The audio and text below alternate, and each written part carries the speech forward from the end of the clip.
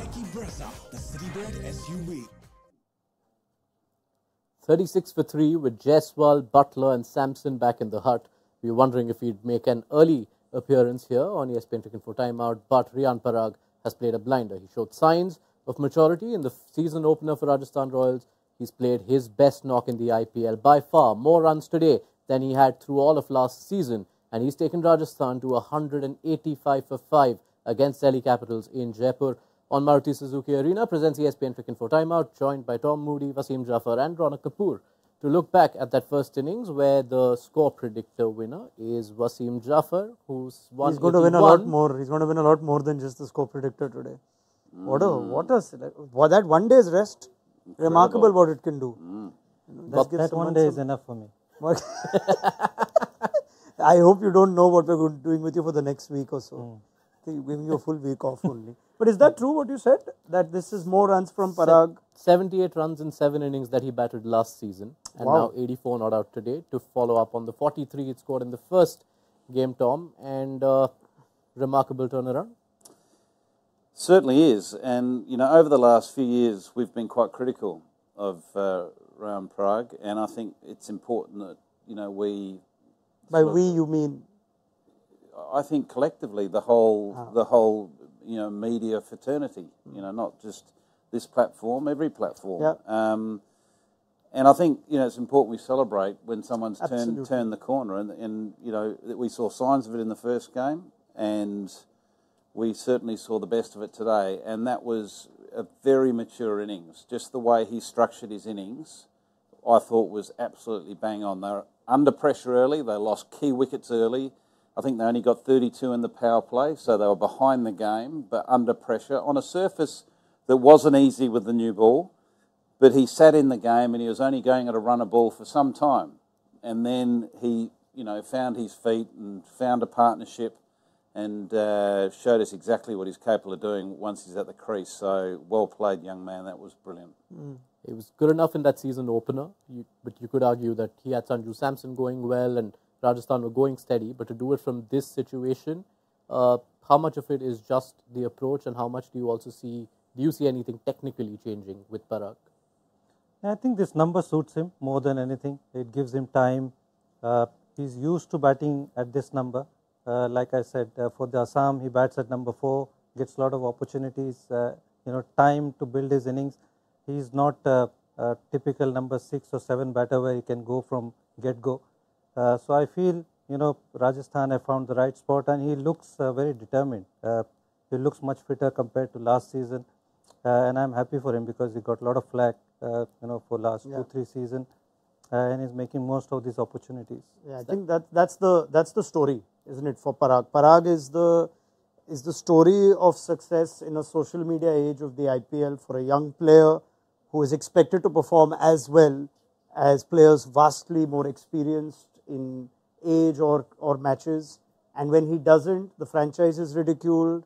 His social media is under the scanner, and what that can do to someone who's that young, you know, often it could have the complete opposite effect. Parag is 22 Yeah. right? His T20 debut in domestic cricket was 2017, seven years ago. So when he debuted, he was a, he was he was a kid. He's literally a kid. And then you go through the rigmarole of the IPL, where it became almost a point to make fun of, or what is the obsession with Rajasthan Royals and Riyan Parag? Well, this is this is it. And we talk about franchises at times being criticized for long-term investment in players. It doesn't work. IPL is a short-term success story. Prithvi Shaw we speak of for Delhi and how franchise will be disappointed they retained him and didn't, you know, and they can't find a place for him now. They don't want to, they don't see him in the 11. But Parag, you have to give it to the Royals. They get a lot of things which we may sometimes think wrong, but they've clearly got something right with Parag. I don't know if you think this is full credit to the franchise or just a player will only mature when he has to. And this season, like Wasim says, terrific domestic season for Assam, batted at the right position, captain. If that has helped us see the best of Parag, no matter where he would have been, or whether this is something the franchise can really be proud of sitting today. I think I think we have uh, too higher expectations on a lot of young players at times, um, and some young players don't help themselves in this modern day um, age with social media, how they get themselves out there. So they put themselves in line for criticism instead of just sitting back and just doing the work and, and letting the scoreboard do the talking. Um, so I think there's lessons to be learnt there over the last few years for, for, for a lot of players in that situation. Um, did Rajasthan get it right? It's been a long wait. Yes. It's been a long wait, and you know there's been you know a lot of uh, you know errors along the way with regards to you know his his selection um, that we've been critical about over over time.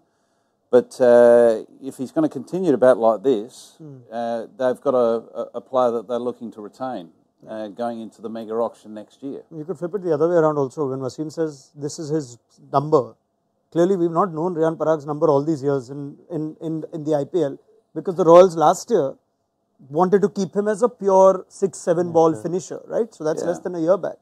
But it, but but every every player wants to bat one, two, three, and four. Yeah. In T Twenty cricket, the hardest place to bat is five, six, and seven, Hmm. and it's it's it's a tall ask to ask a, a, you know, a very young player without experience to, to walk into bat and weave your magic when you've got five balls. And it's purely because the kind of numbers he had in domestic cricket, hmm. they kind of understood that he batted at number four and did what he did. I mean, Assam, you know, Raunak, uh, yeah, they, they never get into the knockouts. Yeah. And they purely got in because of his standout performance. Hmm. So, you know, they could see that, you know, this prop, we could try him at this number. And he's, in, he's an outspoken guy. I mean, you hmm. can see in his Twitter and, and handles, he said some outrageous thing. Yeah, he's I the new recall- age player, right? So that's why this success story is unique. It's different, and it's. I'm glad it's happened. And Tom's right. He who's to say he's not amongst your four players that you'd want to retain now with age on his side. Hmm. And if he has a bumper season, let's hope he doesn't fall off. But there's every reason to believe that he will. Now. Yep. So well done, Riyan Parag. 84 not out of 45, setting Rajasthan up to that total of 185. But there's something interesting Rajasthan did. They changed tactics after losing the top three, and that's uh, what we focus on on why they did that. Tom R. Ashwin being sent at number five. What was the reasoning behind that? It's clearly worked for them, but why did that happen? I think they do it to make their batting look longer. Um, as simple as that. They they were in, in trouble, three down early, lost three key players. Uh, Ashwin's certainly no mug with the bat. He's capable, um, but it's a tactic that uh, Rajasthan have used before, and it allows them to push the likes of Hetmeyer where they want Hetmeyer to bat, and that's the last five overs. Uh, I think this evening he came in with three overs to go. Uh, but they don't want to expose Hetmeyer around that 10th over mark. They feel that's a little bit too early entry point for him. So, you know, Ashwin is going to be more effective at that point of the game than sort of asking him to come in at the 18th over or the 17th over. Mm. Yeah, It also- we've seen this before, right? Yeah. And it the today is a great example of it actually working the way Rajasthan wanted to, because between Ashwin and Jurel, that's 49 of 30. So that's a 30 ball 50. The when it, when they take up too many balls, then you're asking yourself if Hetmeyer had 30 balls, he'd probably get you a 50. And last few seasons when Ashwin's come in, he started with a bang in the power play, and then he struggles to keep the tempo going outside the power play. Eventually, he gets a score of say 50 or 40 or so. And I remember that game. I think it was against Delhi itself, hmm. where they ended up losing the game. It, so maybe it's just a Delhi thing. RR sent Ashwin to bat up But, ahead but it is a pattern because Ashwin has now batted 23 t- innings Yeah. for Rajasthan, and 10 of those have been in the top six, eight in the top five. Yeah. So they do use him a little more. I must say this was the most impressive Ashwin T20 innings for a lot of reasons. The short hitting, the six hitting of Nortje, Yeah. that was The pull shot was quite something, something. yeah. Maybe he's also at a different space, but I don't know if this is something that will continue, Tom. Whether because they sent Jurel ahead of Hetmeyer as well, so I don't know if that is something that surprised us more than Ashwin because we've seen that from Rajasthan before. Mm. But Hetmeyer's got seven balls. Would you be saying that's maximized your batting resources? Well, Jurel, you know, he, he went at nearly two runs a ball, didn't he? Yeah, He- yeah. His strike rate of 200. Twenty of twelve, yeah, one yeah, close to it. Um, yeah, I was surprised Hetmeyer didn't go at that point Hmm. purely because of the left right hand option, um, and Axar Patel was bowling as well, and that's the, your ideal matchup with a left hander. Uh, but you know, who's to, to question the tactics? They've, I they've posted Parag- 185, yeah, today and they've, Parag got it, is, yeah, they've got it right. And this also potentially saved Rajasthan from perhaps having to rethink their impact because if you lose another main batter, if you lose a Jurel or a Hetmeyer if they go in early, you would perhaps have to consider Rovman Powell coming in at the expense of that additional sixth bowler you could bring in later. At, at this stage, they don't even need to name Hetmeyer in their 11. if they plan on just giving him five, hmm. if these two bat a little more, then you can, you can play around with that even more. But yeah, in all seriousness, the test will be when some team gets Rajasthan four or five down within the 12th, 13th over. Yeah. Plus, I want to see them bowl first and see what their Yeah, yeah. what their eleven is. Then are you willing to take the field without Nandre Burger? And you know, That's then gonna, that's going to be Yeah, interesting, and that's why the toss was interesting. yeah. Let's focus on the Delhi bowling now, shall we? And uh, begin with Anrich Nortje, whose return, uh, those figures don't read well, 1 for 48, but some exceptional shot making from Ashwin, and then Riyan Parag launching into him in the final over. Assessments, Wasim, on Nortje's return? I think he bowled well. Uh, you know that was exceptional uh, from Ashwin and and the last over. Other than that, I thought he bowled well. He he wasn't uh, obviously he must be rusty, uh, which is expected. But I thought uh, he was okay. What speeds did he clock? Did he clock? It wasn't it wasn't his usual sort of touching 150. Um, So he'll build up into that, I'd say. Yeah. And the rest of the Delhi bowling, Khalil. Khalil started quite Yeah. well. Uh, he got some tap in his last over. If not for that, these would have been exceptional figures for him as well. Uh, I think Khalil, Irfan made the point when he was with us the other day that Khalil is not so far away from a surprise call up as we may think because there are players that India have played in T20I cricket in the last 12 to 18 months and you think it's between that pool of players that the selection will come. But given that the World Cup is right after the IPL, given that there wasn't a lot of T20I cricket and a lot of players weren't fit, selectors have been pretty clear that this IPL will be decisive in the squad they pick. And if you are determined to take a left arm fast bowler there, that narrows the pool down. So you've got Arshdeep, and then you've got Khalil, Natarajan, and, uh, and Mohsin Khan. yeah. So, but out of those, three players haven't featured for India, and they were not supposed to be part of the plan. But the timing of the IPL come, is very interesting. And Khalil, if anything, has, if I have to compare them with those four, more boxes covered when he's fully sort of on in form with pace between the four that I named. Arshdeep is still young and it'll be an interesting season for him. But Khalil, serious bowler when he bowls like this. Yeah, if he gets it right, he, he was he was touching 140 plus today. Yeah. And his first three overs were nine for one, so he bowled you know really well. And if he gets it right, he's got variation. He can bowl over around the stump. Yeah.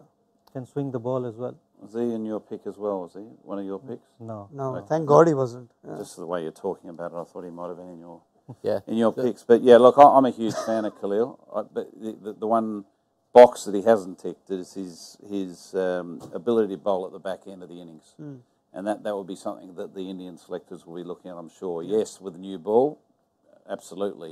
He's got a great wrist position, swings it both ways. But can he bowl? Can they rely on? Because ideally, a specialist bowler, you want at least one in that back three or four overs. There's also the fitness point, of course. He can't be impact subbed off in the World Cup, which he has after 15, 14 overs today. Yeah. And we have seen Khalil is someone you, with due respect, sometimes have to manage in the field. So there's that aspect too. Let's quickly get a tracker on how those outrageous picks that our panel made uh, worked out for them. Uh, Tom is still in play, of course, because his was Marsh hitting four or more sixes. Let's see if that happens. Jaiswal to score a ton, uh, he fell a bit short. Uh, that's one of the rare ones you've got wrong today. And Kuldeep Yadav to go at less than four runs per over uh, didn't necessarily work out. He has conceded 41, which That- is the most he has in more than a season in the IPL. There's a four gone in for- there. Should have gone for Axar. You, that's a typo. I said 14 on over. he will concede less than 14 runs per over. And uh, uh, What did Axar go for? what did Axar go for? Four- 5.25. That's not the typo, though, sir. I haven't. All right, now before I get uh, some calls from you guys for the chase, uh, Riyan Parag playing such a good knock at number four has got even one of the best number fours in the world talking. Surya Kumar Yadav, even as he makes his recovery and Mumbai Indians wait on his fitness, has put out this tweet after watching Parag saying, Met a guy at NCA a few weeks ago, came with a slight niggle, completely focused on his recovery and with great discipline working on his skills. And I was not wrong to tell that to one of the coaches there. He is a changed guy. Riyan Parag 2.0, watch out. yeah. It's about as high as praise comes for as batting at number four. Yeah. 100%. I was actually surprised that he wasn't picked for Indian team in, in those bilateral series because the kind of performances he put in. But I won't be surprised after the IPL or probably after the World Cup because the World Cup is straight away after the IPL. might have some spots He- yeah, opening up. Definitely. So you see him playing for India within the next year? Yeah. Is that your outrageous prediction or your bold prediction? That's a bold one. Yeah, I like it. I like it. If, if bats like that, Yeah. that's pretty special. There's also every chance that whatever the effects of the World Cup, there will be some vacancies in the Indian team. You know, Yeah. with I don't see Rohit and Virat wanting or looking to play another T20 World Cup. But then I said the, we said the same thing after. So the you're last saying World they're retiring? You're announcing that? That is my outrageous uh, prediction. Not that bold. they that they may not find the motivation to play another. If they do, they will certainly be good enough, and the team would be blessed to have them. You could join the PR team. You've wriggled out of that one nicely. Okay. All right. Quick thoughts. Uh, 185. Which way do we see this contest uh, finishing? Tom. Oh, I think it's Rajasthan. Yeah, it's you know that that, that sort of finish. The last five overs, they got seventy-seven runs, which I think has closed the door on DC. Was it? Yeah, I would say RR as well. Unless Warner and Mitchell, uh, sorry, Mitch Marsh does something special.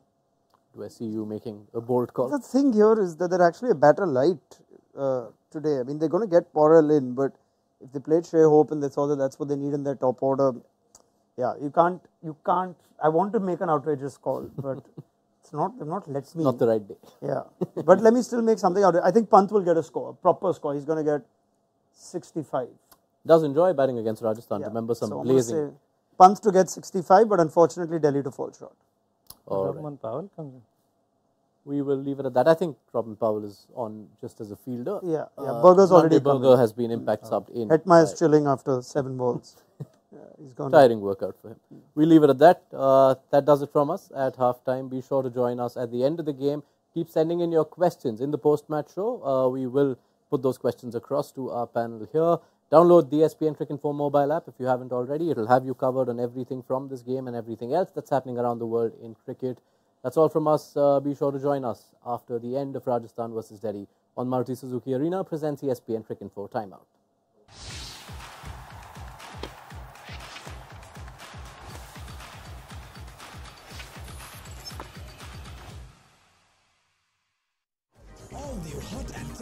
Brezza, the Citybird SUV.